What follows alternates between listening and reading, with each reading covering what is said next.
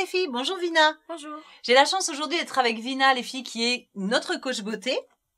Et nous avons Chloé. Chloé qui a 19 ans. Chloé, elle nous pose une question sur les vernis Vina. Est-ce que...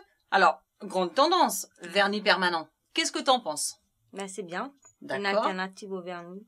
C'est une alternative au vernis C'est entre le gel et le D'accord. vernis tout court. Très bien. Voilà. Et ça n'abîme pas les ongles. T'as as, l'avantage de durer deux semaines.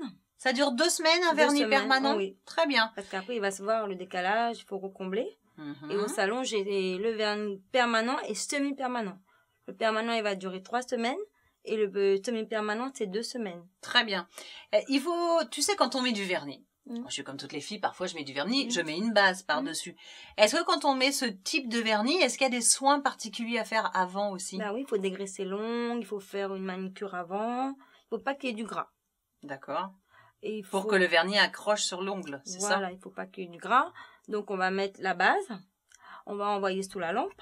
Ça va durer euh, deux minutes. Après on ressort, on dégraisse. On remet la couleur, une couche. Après on remet une deuxième couche après la lampe. Et après, après la lampe, on dégraisse pas, on remet euh, le top coat. Il va aller sous la lampe.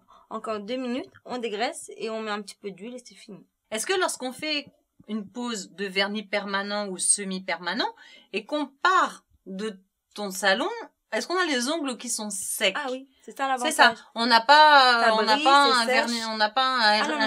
Moi, j'appelle ça, j'appelle ça un schmurz. Mm. Tu sais, quand tu mets ton doigt ou tes Et mains dans le sac et, pff, et voilà. Et mince, j'ai passé Mm. une heure à me faire les ongles. Non, là non. Là, ça n'arrive pas. Non, Oh, c'est ça l'avantage. Ça brille aussi. D'accord. Ça brille plus que le Ça vernis- brille plus longtemps qu'un vernis, normal, basique. ouais. D'accord.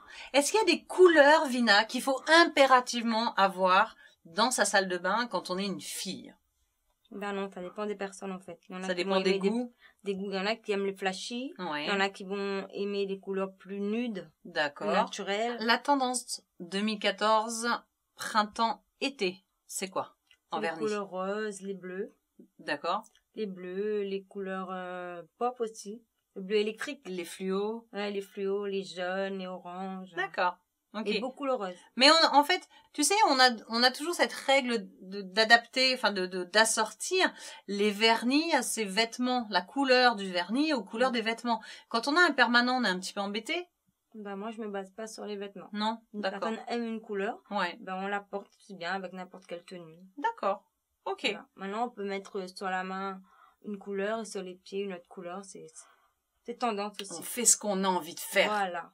On fait ce qu'on veut. C'est ça? Voilà. Bien. Merci Vina. De rien.